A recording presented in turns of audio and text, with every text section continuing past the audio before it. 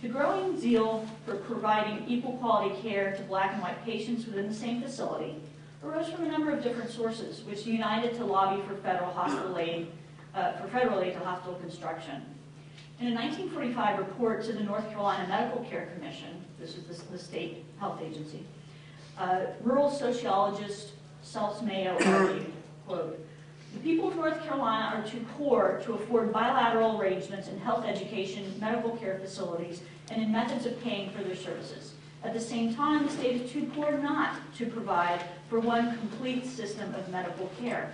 Two systems, meaning two architecturally separate systems, will mean lower standards and poorer services for both the white and Negro populations, unquote.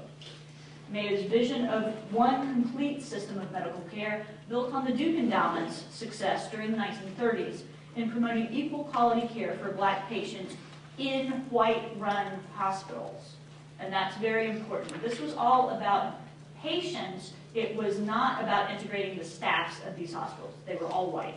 The, what I just showed you at, at Charity, Tulane and LSU were all white medical schools. The entire staff was white except, I, I would add, for the nurses, because Earl Long, Huey's brother, uh, said that uh, we could not possibly allow uh, white, uh, black patients to be treated by white nurses, uh, you know, as a, um, so he used that, um, basically sexism to, uh, and racism, to open charity hospitals to black nurses for the black patients on the wards. Um,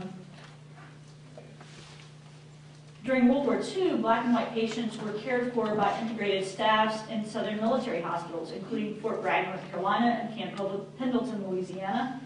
Black activists from every national black organization testified in congressional hearings on federal health legislation, which provided a rare forum to discuss equality during an era when all other civil rights legislation was doomed to failure.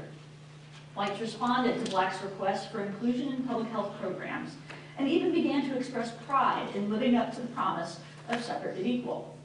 Here at the University of North Carolina, when it drew up plans in 1949 for the teaching hospital for the medical school here, funded by Burton, the administration and board of trustees envisioned from the very first a facility that would be, quote, for white and Negro patients with separate wards, dining facilities, and so forth. This concept has been carried out in all the planning of the hospital. When I first read that, it's like, well, so what?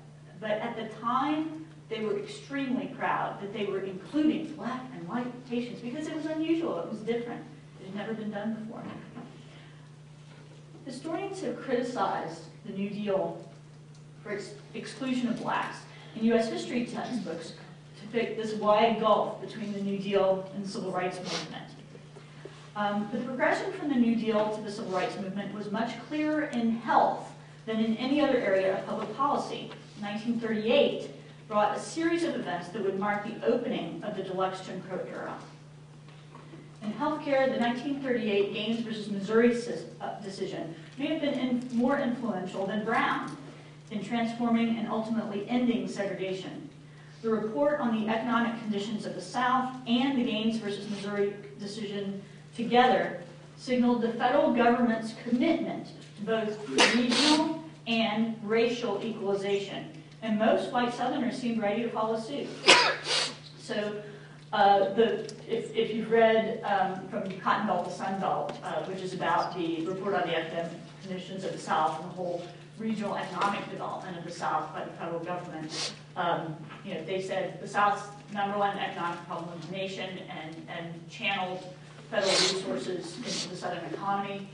And then the Surgeon General at the time, Thomas Parran, uh, you know, in parallel said the South is the number one health problem of the nation as well. Um, so the New Deal headed south with programs designed to apply massive federal resources to bring the region's economy into the national mainstream. The South in 1940 contained 62% of African Americans and half of rural Americans whose abysmal health status was starkly portrayed in a flurry of reports and articles that highlighted the nation's worst race of morbidity, mortality, and particularly wartime draft rejections. Um, you can see up here that half the uh, draftees the, from the South were rejected for service during World War II. Um, and that figure is 75% of black Southerners and uh, 40-something percent of white Southerners. But anyway, a very high percentage. So in the South, which was very pro-World War II and saw themselves as, you know, the, the military um, heroes, this was bad, bad news. And it really got a lot of Southern state governments to start doing health reform. Um, the South became the main target of early federal health policy because the nation's most medically underserved populations were concentrated there. The Jim Crow grew from, uh, sorry, um, grew from a political nexus of national black organizations, white Southern politicians and health reformers, and New Deal liberals. Health was a rare area of common ground during a period of extreme racial polarization. Public health was one of the earliest emphases of federal aid, aid to states. I think I'm on the wrong slide.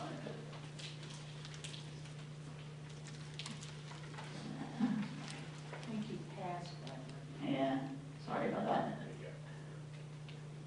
Oh, please. This is kind of pretty.